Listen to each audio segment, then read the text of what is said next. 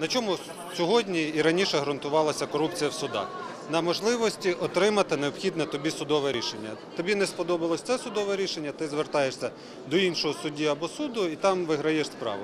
Бували ситуації, далі це піднімалось на рівень апеляції, касації до Верховного суду, коли в рамках однієї палати Верховного суду, більш того, іноді один і той же суддя з різницею там в якийсь термін в рік мудрявся прийняти не те, що різні, протилежні рішення за однаковими по суті спорами.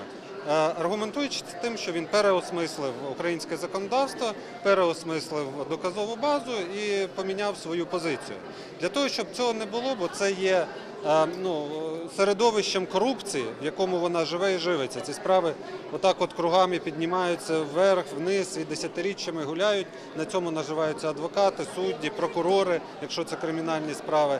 Щоб цього подальшому не було, ми провели судову реформу, суджу якої є запровадження єдиної судової практики.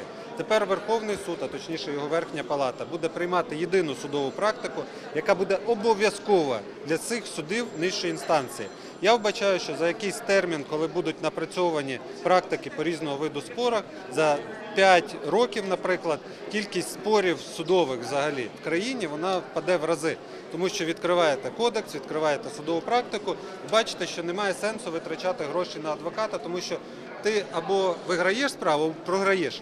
Інших варіантів в тебе просто немає, не так як сьогодні. Але ми розуміли, що віддати формування цієї єдиної практики тому Верховному суду, який абсолютно дискримінував себе і високе ім'я України іменем правосуддя, якою твориться, е, ну це пустити козла в огород. Тому Верховний суд було абсолютно обнулено.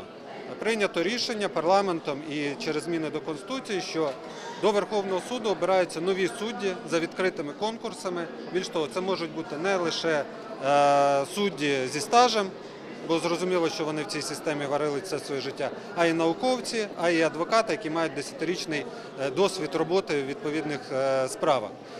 За Півроку залишилось вже десь приблизно 4 місяці. Завершиться формування нового Верховного суду. За три роки завершиться формування нових апеляційних судів. Там пройдуть конкурси.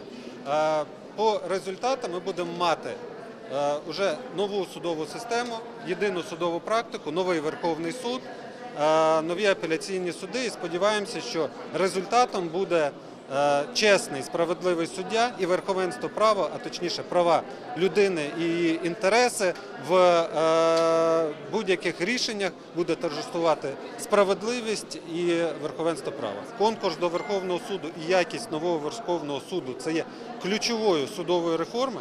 Бо якщо нам не вдасться сформувати нову якість Верховного суду, не буде якісної єдиної судової практики. Тобто написати закони це половина роботи.